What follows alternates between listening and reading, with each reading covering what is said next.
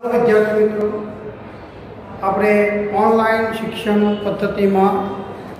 ધોરણ નવમાં આપણે પ્રકરણ છ ગણિતમાં અભ્યાસ કરવાનો છે. એમાં રેખાઓ અને ખૂણાઓની વાત કરવાની છે. હવે ધોરણ આઠમાં અને ધોરણ નવમાં યુક્લિડની ભૂમિતિનો પરિચય. એમાં આપણે અભ્યાસ કરી ચૂક્યા કે કોઈ પણ રેખાને ઓછામાં ઓછા બે બિંદુઓ હોય ઓછામાં ઓછા બે બિંદુ એટલે બે કરતાં વધુ બિંદુઓ એટલે રેખા નિશ્ચિત કરવા માટે આપણે બે બિંદુઓ તો હોવા જ જોઈએ હવે બે અંત્યબિંદુવાળો ભાગ હોય એના આપણે રેખાખંડ તરીકે ઓળખ્યો છે આ રેખાખંડને આપણે રેખા પરના બે બિંદુઓ આપણે આ રેખા છે આ રેખા પરના બે બિંદુઓ એ અને બી તથા એમની વચ્ચેના તમામ બિંદુઓના ગણને સમૂહને આપણે રેખાખંડ એવી કહીએ એક ઉદ્ભવ બિંદુ હોય એથી. અને બી તરફના તમામ બિંદુઓના બદલે કિરણ એબી કહેવાય. હવે એના પછી વાત કરું કે જો ત્રણ કે તેથી વધુ બિંદુઓ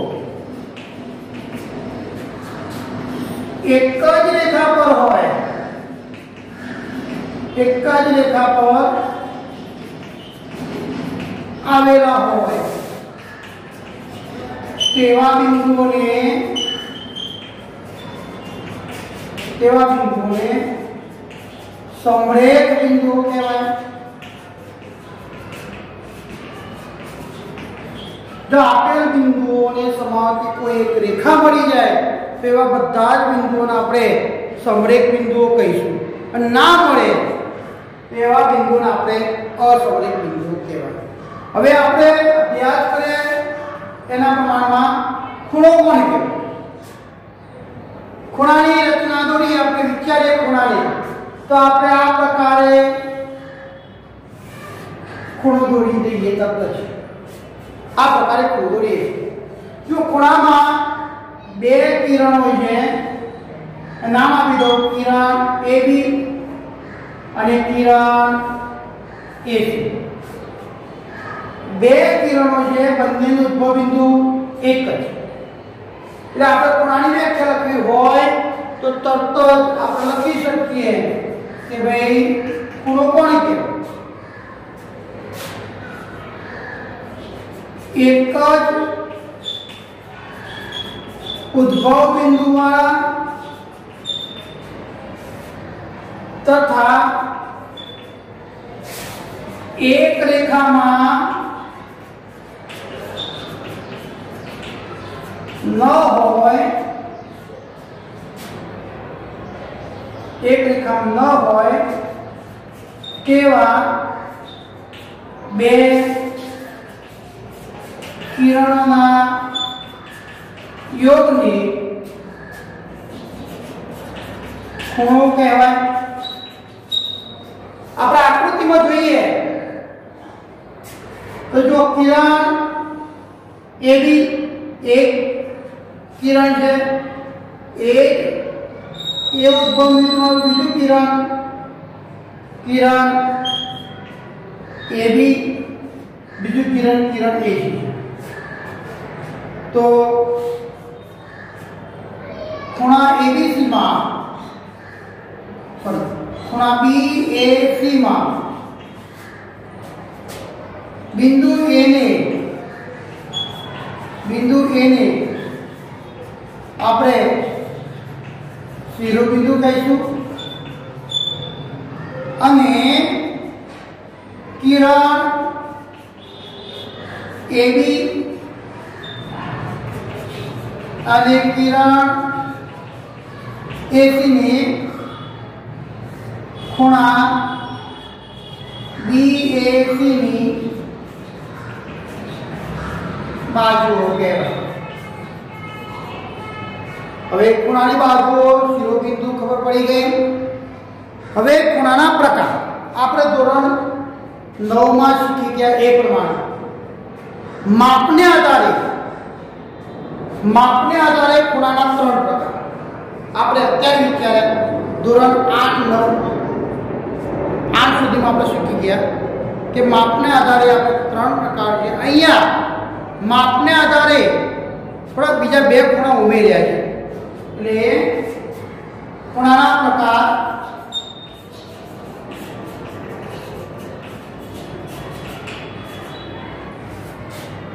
પહેલો પ્રકાર આપણે કહીએ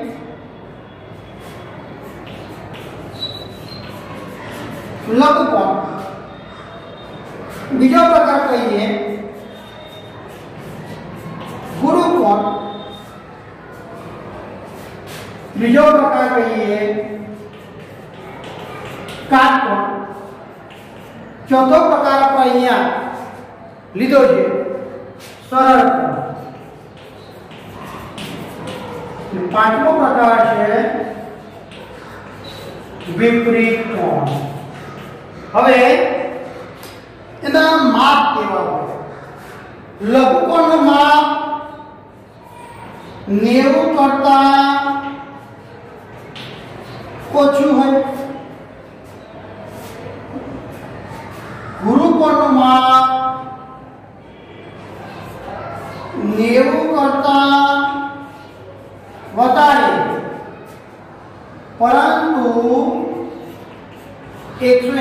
કરતા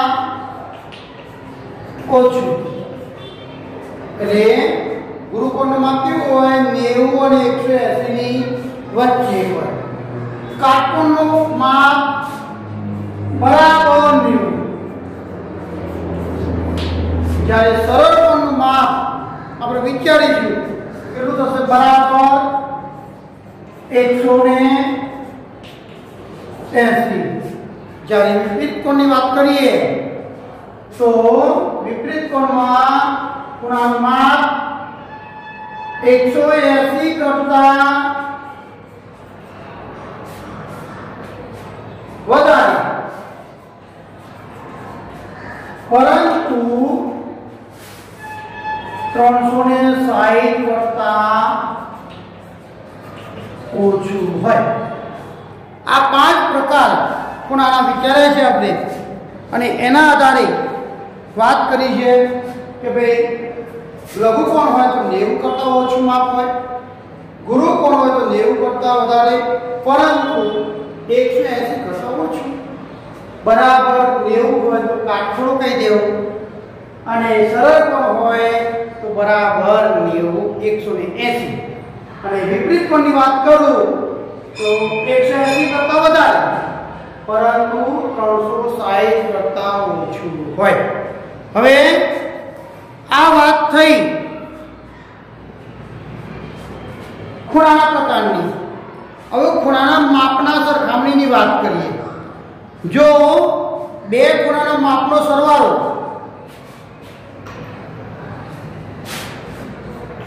બે ખૂણાના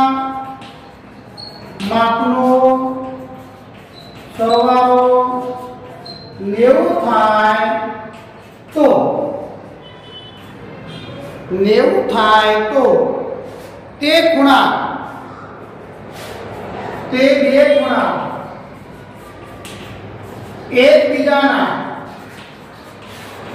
કોટી કોણ કહેવાય જો નેવું થાય તો કોટી કોણ કહેવાય જો બે ખૂણાના માપનો સરવાળો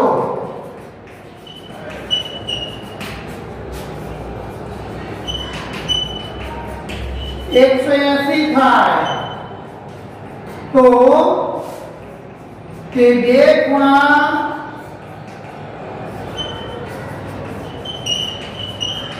એકબીજાના પૂરક કોણ કહેવાય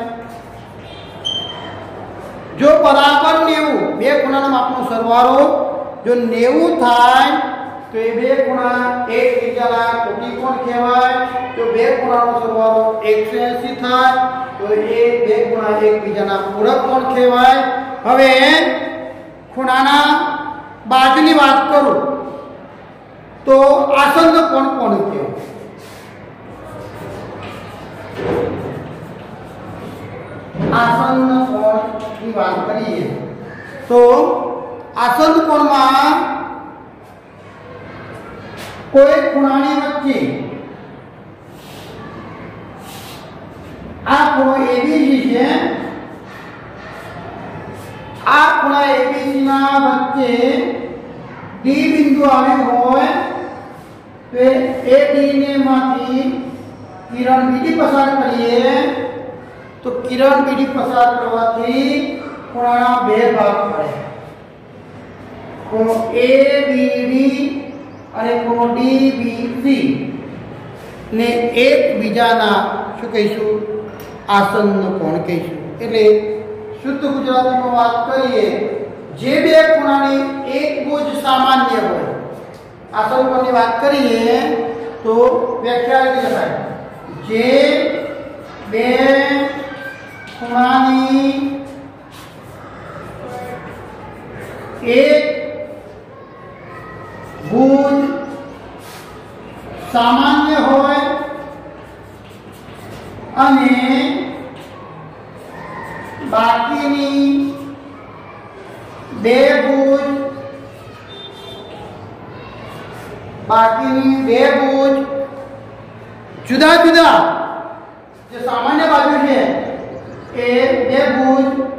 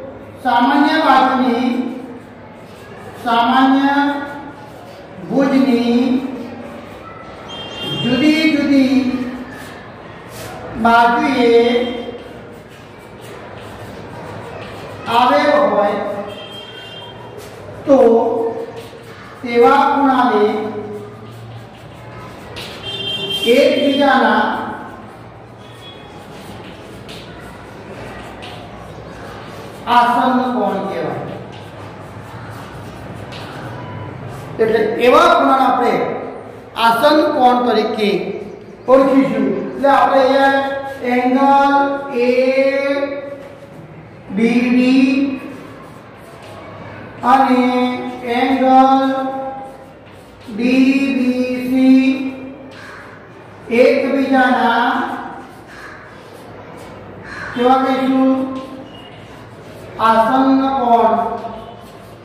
કહેવાય અને બે આસન કોણનો સરવાળો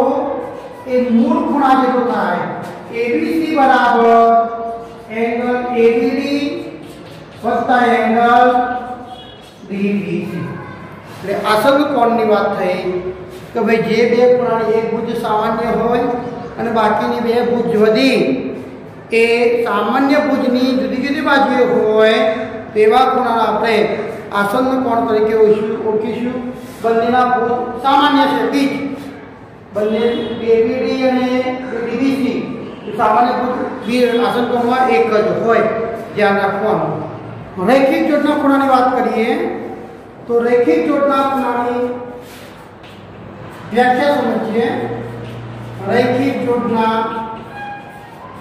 ખૂણા જો બે ખૂણાનું એક ભુજ સામાન્ય હોય અને બાકીના ભુજ એક રેખા હોય તેવા ખૂણાઓને રૈખિક જોડના ખૂણા કહેવાય જોઈએ આપણે આ એક ભુજ સામાન્ય અને એક રેખા સીડી આપણને આપેલી છે આ રેખા સીડી પર એ બિંદુ એ બિંદુ બિંદુમાંથી આ કિરણ એ બી કિરણ એ બી સામાન્યભૂત છે અને કિરણ એસી અને કિરણ એડી બીજા બે બાજુઓ છે એક જ રેખામાં આવેલી છે તો આ બે ખૂણાને એકબીજાના રૈખિક જોડના ખૂણા કહેવાય રૈખિક જોડના ખૂણા જોવા જઈએ તો શું કહેવાય આસન કોણ કોણ કહેવાય એટલે રૈખિક જોડના ખૂણા સરવાળો વિચારીએ તો પછી આપણે કહી શકીએ કે રૈખિક જોડના ખૂણા પૂરક હોય છે એટલે રેખિક જોડના ખૂણાનો સરવાળો કેટલો થાય એકસો એસી થાય પછી વિચારીએ તો આપણે રૈખિક જોડના ખૂણા પછી અભિકોણો અભિકોણોની વાત કરીએ તો જે બે ખૂણાના જે બે ખૂણાના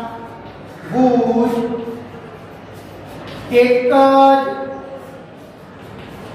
રેખામાં હોય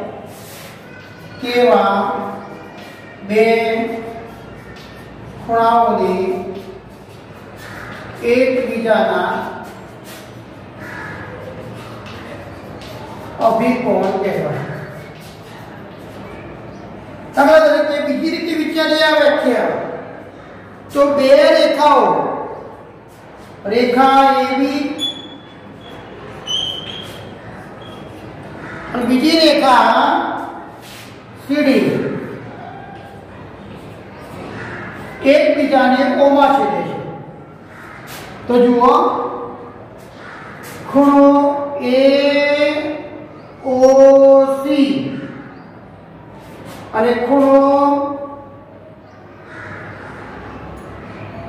બી ઓ ડી. ખૂણો એઓસી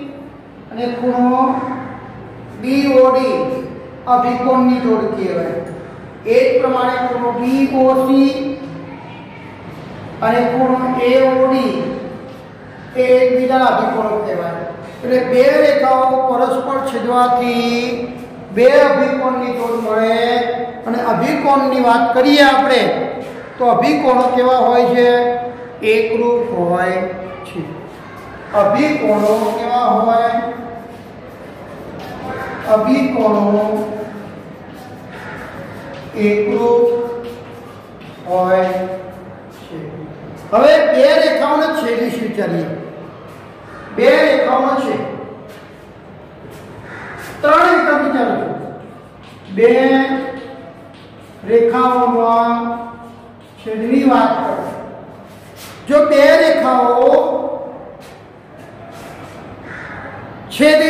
કો તો ના છેદે બે વિકલ્પ છે જો બે રેખાઓ પરસ્પર ના છેદે તો એ બે રેખાઓ હંમેશા એકબીજાને સમાંતર રહેશે એટલે રેખા એબી રેખા સીડી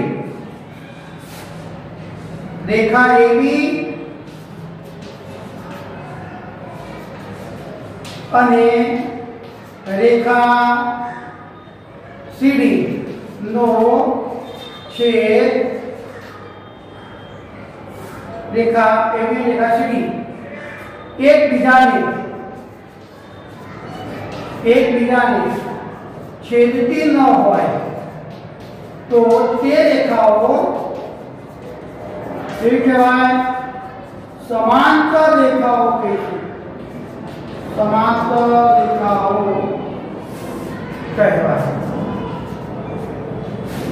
આ બે રેખાઓ ક્યારે ના છેદતી હોય દાખલા તરીકે બે રેલના પાટા ટાયર ફોર વ્હીલ હોય તો ફોર વ્હીલના બે ટાયર વચ્ચેનું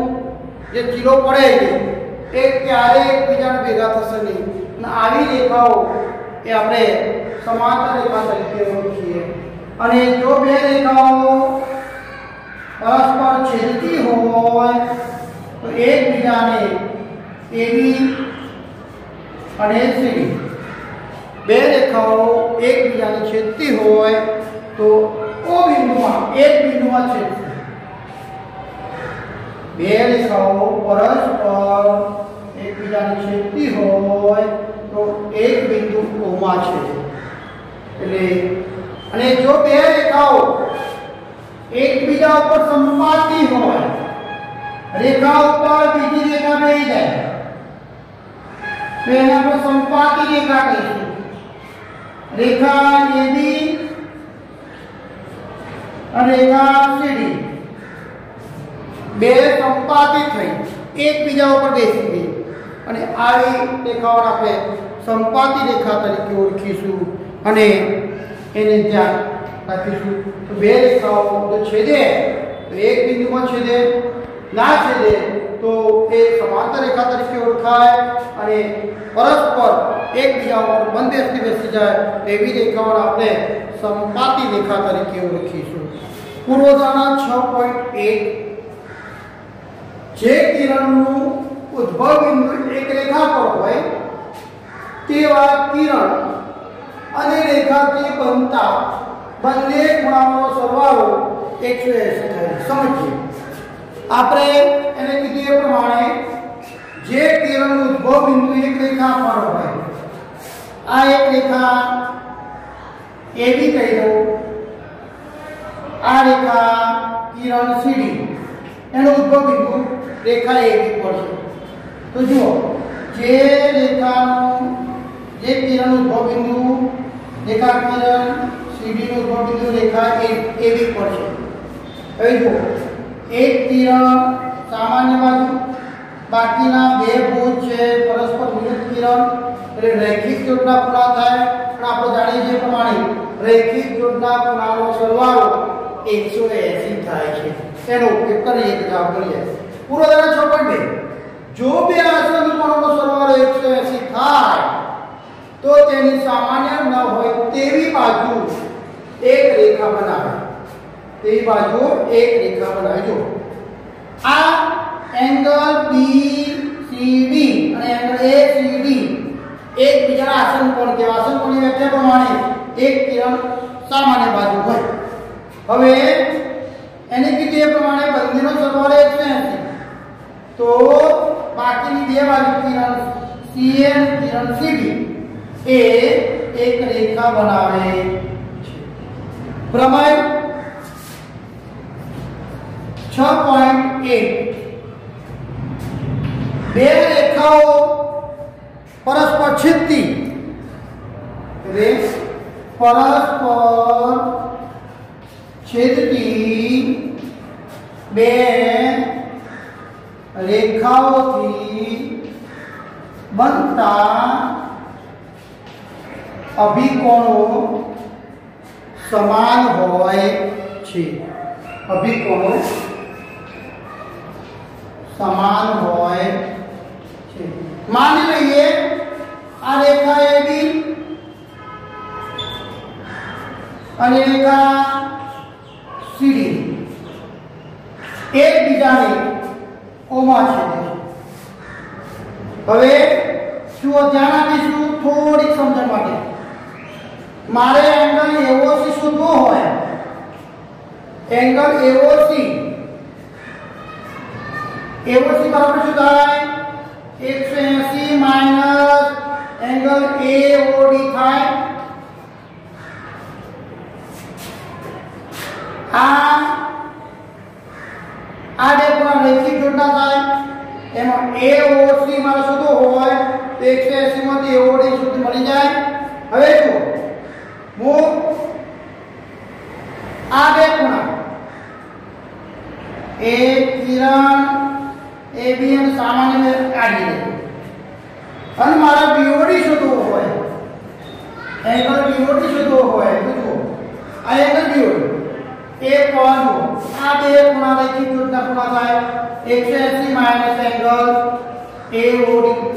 હવે બંને એઓસી બીઓડી બંનેમાં જો એકસો એસી માંથી એઓડી ખૂણો બાદ થાય છે એટલે આ એઓડી ખૂણો તો બંને માટે એક જ છે માટે આપણે કહી શકીએ કે એંગલ એઓસી બરાબર એંગલ બીઓડી એના ઉપર આપણે કહી શકીએ તો અભિકોણો એકરૂપ હોય છે હવે સ્વાધ્યાય છ પોઈન્ટ એક એનો એક્ઝામ્પલ એક આકૃતિ તમને આપેલી છે રેખા એબી રેખા સીડી એકબીજા ઓમાં છેદે છે જો એઓસી એઓસી આ ખૂણાનો સરવાળો અને બીઓઈ આ બે ખૂણાનો સરવાળો 170 આપે છે અને બીઓડી આ બીઓડી નું માપ 40 આપ્યું છે તો તમને બીઓઈ શોધવાનો કીધો અને વિપરીત સીઓઈ શોધવાનો કીધો જોઈએ અહીં આપણે જે આપ્યું છે એને વિચાર કરીએ રેખા એબી અને રેખા સીડી. એકબીજાને ઓમાં છેદે છે માટે આપણે કહી શકીએ તો એંગલ AOC બરાબર એંગલ BOD બરાબર 40 કેમ એવું કીધું? કારણ કે અભિકોણો છે. જો એંગલ CAOC અને એંગલ BOD અભિકોણો દ્વારા અભિકોણો સમાન માપના છે આપણે તમે 6.1 જોઈ લીધું હવે આપણે જે આપ્યું છે આપી અહીં તમને પાછું આપ્યું છે કે એંગલ AOC એંગલ BOE બરાબર 70 એમાં આપણે એંગલ AOC નું માપ આપણે મૂકી દઈએ કેટલું 40 એંગલ BOE બરાબર 40 70 માંથી બાદ થાય તો આપણે એંગલ BOE કેટલા મળશે 30 મળશે 40 થી 70 માંથી બાદ થાય તો મળશે હવે જુઓ એંગલ AOC એંગલ COE અને એંગલ BOE એ રેખિક જોડના ખૂણા ત્રણે ત્રણ નો સરવાળો 180 થાય હવે એંગલ AOC વત્તા એંગલ BOE વત્તા એંગલ COE નો સરવાળો 180 થાય હવે AOC અને BOE નું માપ આપણને આપ્યું છે 70 તો 70 બરાબર એંગલ વત્તા COE બરાબર 180 માટે એંગલ COE બરાબર 180 માઈનસ 70 બરાબર કેટલા 110 COE નું માપ 110 આવ્યું હવે વિપરીત COE શોધવાનું કીધો તો વિપરીત COE એટલે આખો આખો જ્યાં વ્હાઇટ ચોકની લાઈન દોરી છે એ વિપરીત COE કહેવાય એટલે વિપરીત COE શોધવો હોય તો વિપરીત કોણ COE બરાબર 360 માંથી એંગલ COE બાદ કરો તો 360 માંથી COE આપણને 110 મળી છે બાદ કરીએ એટલે આપણને કેટલા મળશે 0 6 માંથી 1 5 2 3 માંથી 2 1 એટલે વિપરીત એંગલ COE 200